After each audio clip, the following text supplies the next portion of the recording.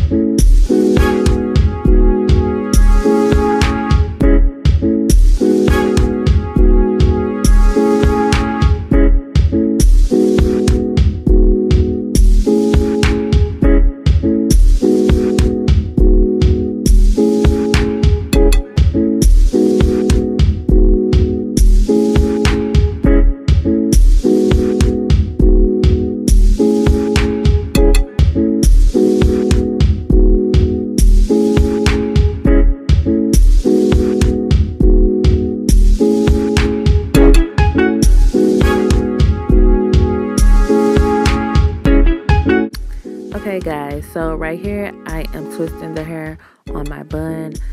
I am going under, I'm not going over, but each time I'm wrapping the hair around, I'm going under. So that is a very important step that you go under and not over. While I'm going under, I'm squeezing the bun just so I can get it how I like it and make sure that it is pretty snug while I'm twisting it around.